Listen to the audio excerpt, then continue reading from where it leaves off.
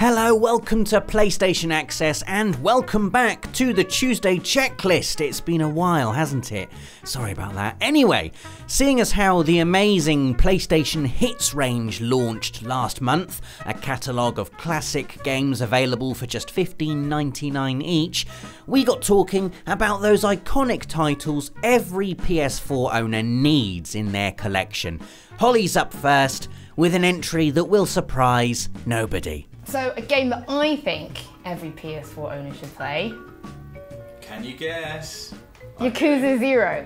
Hooray! No, no, no. You look at like the lineups of like the, those PlayStation hits, and like out of that for me, because I'm quite late to the party. I hadn't. I had sort of heard of Yakuza growing up. Like I'd seen it in like you know official PlayStation magazine, and I just assumed it was just like a bit of like mindless GTA violence. I was like, that's not for me. And I'd gone to PSX to go see Persona 5. And while I was there, someone from Sega Atlus was like, well, we've got this other game, like Yakuza Zero, do you want to check it out? I was like, No. you can't be rude, because obviously I had dismissed the series and I was like, I can't be an ass. I will say yes. And then next thing I know, everyone's ripping their shirts off, and it's great fun. In the game, right? Oh, well, I mean, it is Sega. Art, life imitating. Um, and it was so, so good. And then I've been playing games since I was like three or four years old. So if there's a series by now that I was going to get into, I've probably discovered it, like Final Fantasy. I follow the series, so I'm always waiting for the next game. But then all of a sudden, someone's just gone, here, here are seven games in a series that you have yet to experience. How does that feel? And it was just, it's so nice to just discover something. Have you played them all now? I've no. So I've played. This is the most popular question I probably get asked on Twitter. The order is zero, Kiwami, Kiwami two, three, four, five, and six. So I have not played Kiwami two. That's what I haven't played. Right. So Kiwami and Kiwami two are remakes of one and two, Ah. which came out on PS2. ah. So I played zero, then Kiwami, and then I skipped PS3, three, four, and five. I will forget this info until the next Tuesday checklist when you tell me again. Yeah, basically. but yeah, I I haven't played uh, Kiwami 2, but now someone, you know, by the time this video comes out, you'll pretty much be able to go and play 0, 1, 2, and then you can get PS3 out with four, 3, 4, and 5. I played four on PS3. It was amazing. It was free on Plus, I think. I think it was even before that when it came out. I reviewed See? it to someone, and I gave it a nine out of ten. I was like, this is amazing. You reviewed it. Yeah, and then just never, never played it. We could have had so much Yakuza bants. I've forgotten all about it now. Yeah, But I know. I loved it at the time. You, Dave bought 0. I own Zero and Kiwami. Have you played them? No. Okay. oh! oh! It's, it's installed. It's like just a, a, a button press away. No, no, what's going to happen? You're going to get another code from another game you think you want to play, and then you'll be like, oh, my hard drive's full. What shall I delete? and then off into the distance, Yakuza will go, and you'll never play it, and you'll continue to disappoint me. It is the most amazing mix of like weird, gratuitous violence with the most amazing stories. What is the general storyline for Yakuza Zero? you are playing as it's like one main protagonist, Kiryu Kazuma, and this is like a yakuza with the heart, heart of gold. And for some reason, no matter how much he tries to leave that lifestyle behind, he always just keeps getting pulled back in and pulled back in. So it's just following him and the clan that he's in, and him just trying to keep that clan on top and basically just moving. We're And- doing karaoke. in between doing karaoke and all the other sort of fun stuff. Like Yakuza Kiwami, do you remember Virtua Fighter? Virtua On, sorry. What? J- like all the old like Sega games are in the game. Oh yeah, in the arcade. So you yeah. can like go to the arcade and just play retro Sega games. Uh-huh. Like Taiko Drum Master's in one. That's good. You ever played that either of you? Jesus. And I'm the one that gets the comments being like, she doesn't play any other games. And you're all there like, I've never played that, never played that. You've played them all in Yakuza. and a little bit outside of Yakuza too, a little bit, a little bit. But yeah, everyone, if you're looking at like classic PlayStation like franchises, if you just pick up Yakuza Zero and love it, it's like a gateway Is to like the one you should start with? Zero. Start with Zero. It's a prequel to the whole thing. Even if you jump, because they're like stories, so it is one continuous arc. It's not like Final Fantasy where like three's got nothing to do with seven. Right. This is, they're all linked. But if you want to just start skipping numbers, at least at least start with zero, and that'll give you all the background information to probably the two biggest and most popular characters. Right then, listen up. There's only one right answer to this. What's this. going on? This is getting serious. There's only one correct answer to this. If people come to me and say, Dan, I've got a PS4, what game should I play? Yeah. And that's happened once maybe. It was earlier. wasn't it earlier today? yes, it was this morning actually. My answer would be Uncharted 4. I mean, it's Of hard course it's Uncharted 4. Hard to argue with If that. you had to pick this, I would probably pick this down. It's the poster boy. What an amazing game. yeah. It's amazing to look at, it's amazing to play, the story's incredible, and I feel qualified to talk about it not because I finished it, but because I'm playing it at the moment. I'm in the zone with this Oh, game, right. Right? back in? I'm up to, don't know, chapter 7 maybe? Yeah. I don't know where that is. Wait, I don't know how far into the game it playthrough or is. Yes, it is the first time I played it. My God. Better late than never. My, uh, my You've sort got of so much to come with. I know. I don't even know if I've seen the best of it yet. I assume I have, but maybe I haven't. Oh, I don't think you have. The best is yet to come. Not. There's so much. Oh my God! not. What an adventure it is. My uh, my yardstick for how sort of enticing this game is is my girlfriend who cares very little for games, Mm. wouldn't bat an eyelid at them. I was I was playing uh, one of the earlier levels when you go back to his house and you're in his loft, Yeah. and she walked into the front room and she said, "What are you watching? Aha! What are you playing?" Nice. And uh, so I explained to her it was Uncharted, and she's been in ever since. Really? She now wants to join me. She's following the story. Wow. I think it's something about. I mean, the cutscenes are incredible. Yeah. The game looks great all the time. Water, water, Rob. You uh, you appreciate the water, don't you? Indeed. I, I say it's my number one favourite water in a game in Uncharted 4. But you sometimes you're watching the cutscenes and there'll just be like a little eyebrow twitch or a little glance for the eyes, and you'll just like come out the other side of the uncanny valley, Yeah. and you just think, actually, that was realistic. I, I mean- believed it for a split second. Why don't we just throw in the big cliche bomb and say it's like a movie that you play? It almost is like a movie that you play. It's yeah. such an amazing adventure. You start off with uh, like the under the underwater scuba diving bit, Mm. and you think, oh, I'm just gonna this is like a t- tutorial. Then I'm gonna go on an adventure. But instead, you come back to the house, Yeah. and he's like a family man now, and he's got Elena living with him. And you go up to the loft, and it really cleverly puts in like the first three games in Mm. the loft, but as memories. And as someone who has sort of grown up with the Uncharted games, and you know, had a break of like five years with that one, Yeah. and now is a slightly older person, to walk through that loft is like walking through your own loft. I must admit, I found it unexpectedly nostalgic. Yeah, absolutely. It's It was- emotional. It Yeah. was emotional for It's- exactly it- what you said. It was like- really good at replacing that feeling of, you know, I've been to my parents' loft and gone up in it and looked around, and there's mm. been some old toys I used to have up there. And you do sort of pick them up for a minute and look at them and go, I remember this very fondly and clearly. Yeah. And it's exactly the same going through Drake's trinkets that he's got from his adventures. Yeah. Please finish the game. It makes you. I will. I will get finish to, the like, game. Do a little pretend fight in that loft as well. You Oh, have uh, the you have the gun gun stuff. with like a Yeah. ball in it, And, and you shoot the uh, targets. Yeah, There's a trophy for that, I think, isn't there? Is there? yeah, I there think is. there is a trophy for it. So you're in chapter seven. Dan, what what's happening? I don't know if it's chapter seven. I've just revealed the map of Madagascar, so I think I'm about to go there. You haven't even gotten to Madagascar yet. So you've done Scotland, right? Yes. Oh, think Scotland's Scotland's so amazing. good. So I think you actually you've just done chapter ten or eleven. Okay. There's so many great environments. Just when you're on the speedboat going through just like crystal, Polish. oh, just the crystal blue. I am aware of the speedboat. I've seen like I mean, trailers and you can stuff see for it. no screenshots. and just Yeah. zooming over. Except I mean I'm a bit behind the times. Rob ruined it with his Friday feature. Bits have been spoiled, but uh, but I don't really know where I'm going to go next. How much longer the game is left? How the story's going to I mean, progress? I extended the gameplay on that game probably by double thanks to photo mode. Photo it was one of the first yeah. games to like Yeah, just photo have mode as well. mode standard, and it was just. So good. If anything, I- I've got a rule now: you can't photo mode on your first playthrough Yeah. because otherwise you just keep breaking up the action with like, let's just see if I can get the angle right as he falls to his death. That's so good. Yeah. I want to go and play it right now. Oh, it's a tough one, this, isn't it? It's a tough one. I get asked this a lot, I think. We've all been asked this a lot, isn't it? Like, what, ooh, what game, what game, you can only play one game or whatever. What game do you have to play? I've just got PS4, what game do you have to play? It's really, really tough. I'm going to add some caveats to my choice. Oh wow! First of all, you know, other people in the group have picked other games. uh, I had to pick this one. I had to pick Number two, uh, The Last of Us is remastered.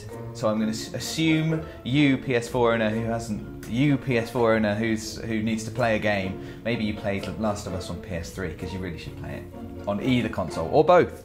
But my my game is Bloodborne. Um, which I've talked about on here lots, and it's just so good. It's so good, and it, I think why I particularly love it is that it took me completely by surprise.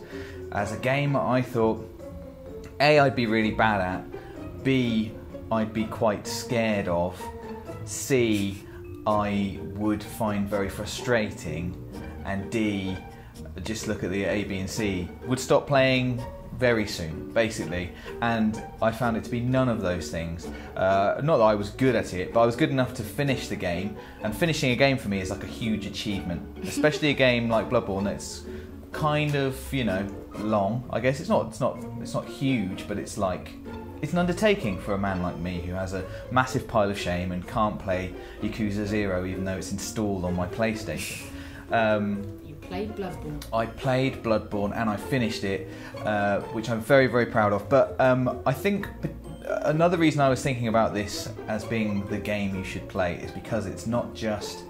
It's a game that you could play many times, and it's a game with like a huge community, like a whole internet's worth of like theories and lore and stuff to delve into. Like it's one of those really, really clever games when on the surface you can just play it and not really understand too much or wonder too much if that's what you want to do. If you want to just, you know, kill stuff and figure out the skill of fighting and uh, how to use your items and all that stuff, you can just totally do that. But if you want to like properly dive in and go, what is happening in this nightmare town? Why is everybody like screaming at me? And what's what are those things that are hidden in the city? And uh, I mean, I maybe shouldn't have mentioned them, but you can do that too. And there's like, it will just keep you going forever. It will maybe drive you insane with the wondering about the theories and stuff, which would be incredibly meta because it's a game not in part about insanity.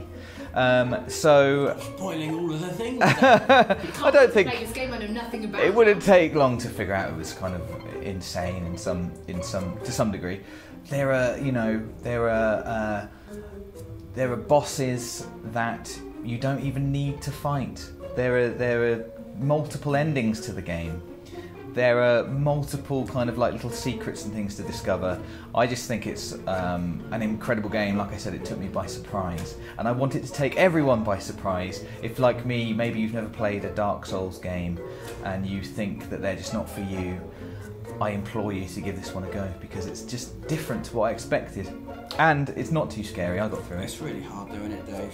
It, Let's I don't know if it is that hard, Oh, Rob. he's one of those. No, no, no. He's one of the people on the YouTube comments like, get good. No, not I at did all. it first time. I don't think I did do it first time. No, I didn't do any of it first time. I don't think that I'm good. I just think that uh, you don't need to be good. You just need to have the right attitude, Rob. I don't. A can-do attitude. Do you know why I stopped playing Bloodborne?